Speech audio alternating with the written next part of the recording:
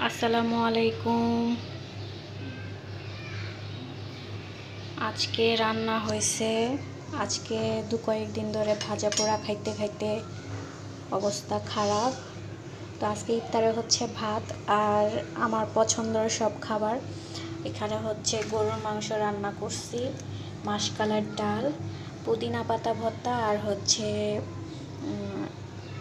পাটের শাক আর সালাদ। আজকে হচ্ছে সব আমার পছন্দের খাবার। আহা, আর এটা হচ্ছে গরুর মাংস। অনেক বড় একটা চর্বি আছে। আর এই তো আস্তা রসুন দিছি মাংসতে। আস্তা রসুন। কখন আজান দিবে, কখন খাব? আর এই তো এটা হচ্ছে আমার পছন্দের পাটের শাক। মানে আজকে হচ্ছে আমার সব পছন্দের খাবার।